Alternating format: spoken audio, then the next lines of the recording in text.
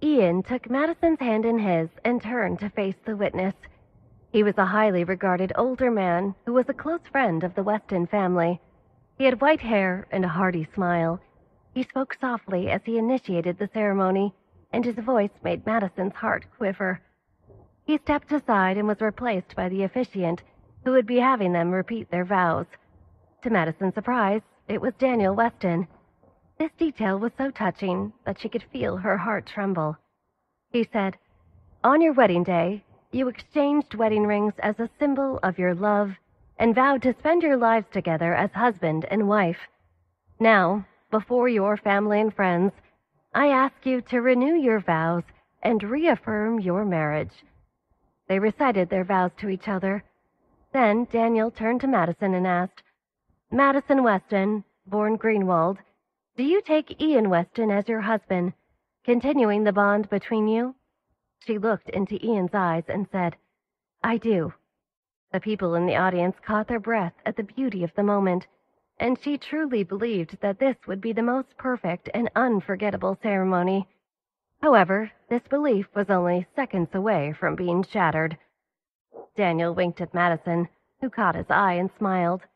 Then he turned to Ian and asked, Ian Weston, do you take Madison Weston, born Greenwald, as your wife, continuing the bond between you? Madison looked at the imposing man by her side. She watched his lips, waiting to hear his answer with a sweet feeling in her chest. When he opened his mouth to speak, she could feel herself heating up and blushing.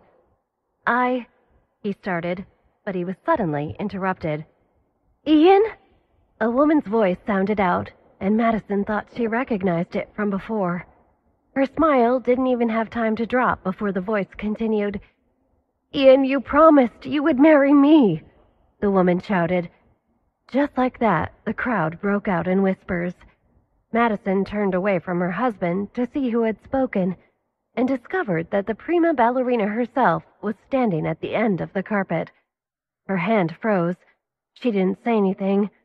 She only turned her head toward Ian stiffly, waiting for his reaction. Ian kept his back to Claire the entire time, and he was so quiet that it was scary. She wondered how it was possible that the sunlight that had been warming her skin through the windows only moments ago suddenly felt so cold.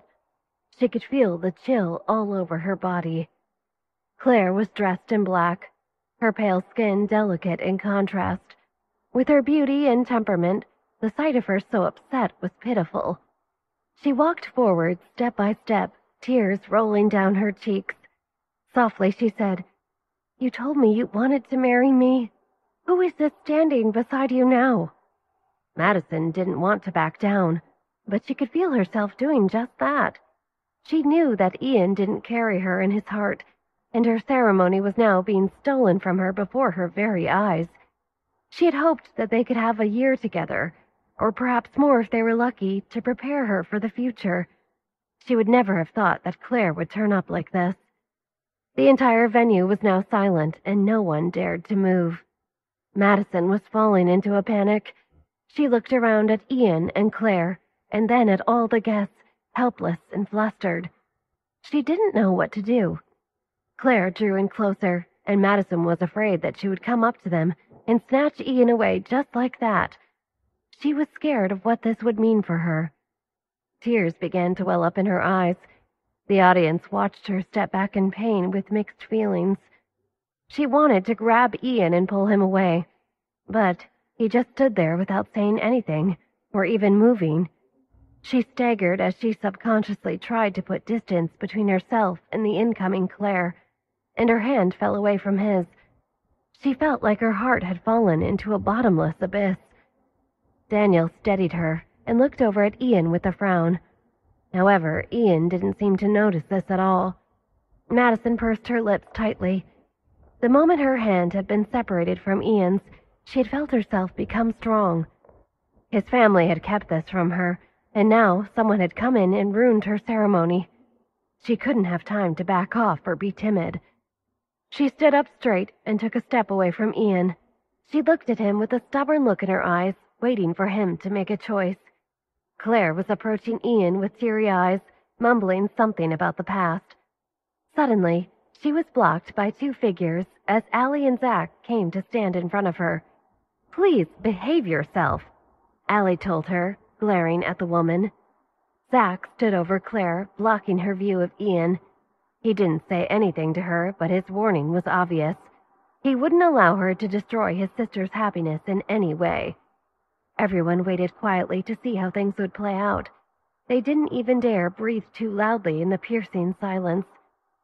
Claire looked at the people in front of her and said, Do you know that I'm Ian's girlfriend?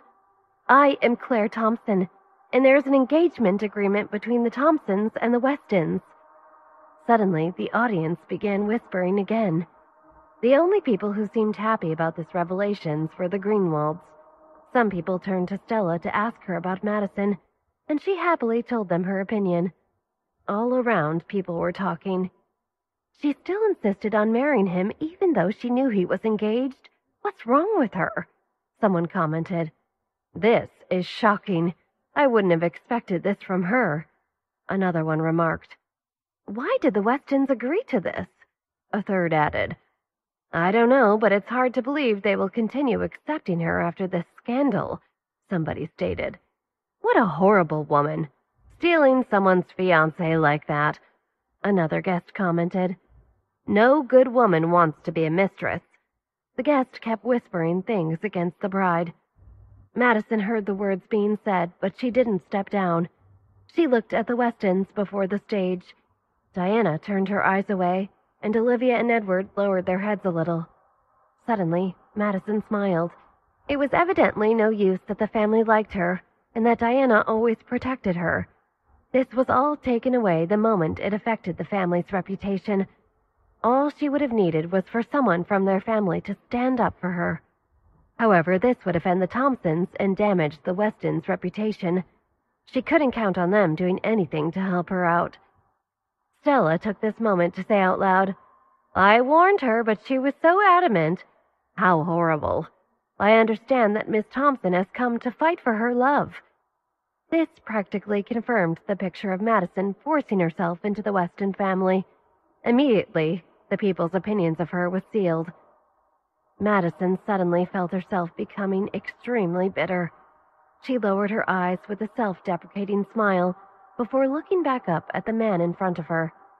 She was being misunderstood by everyone, and at this moment, she needed to hear his answer. However, she didn't have the courage to ask him which one of them he truly wanted to have as a wife.